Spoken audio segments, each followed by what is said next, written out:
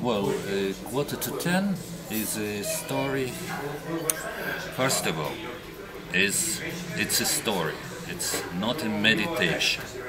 It's a story with the beginning and the end, with uh, a hero, with uh, some events, or even I would say adventures, with uh, some romantic moments uh, in the scenic of uh, a big and hostile post-Soviet city.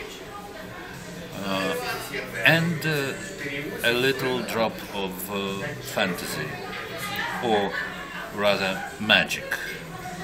Uh, but first of all, it's a story of an old man recognizing himself.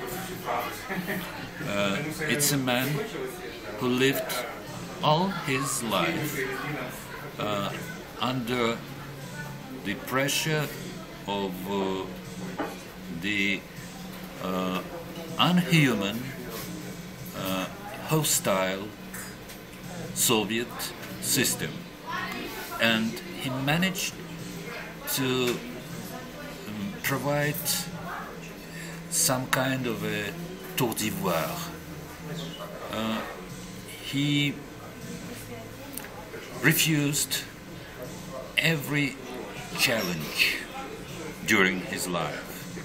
He betrayed some of his, uh, some of his friends, but uh, finally he betrayed himself. And analyzing his uh, life, he finds finally a sense of his life.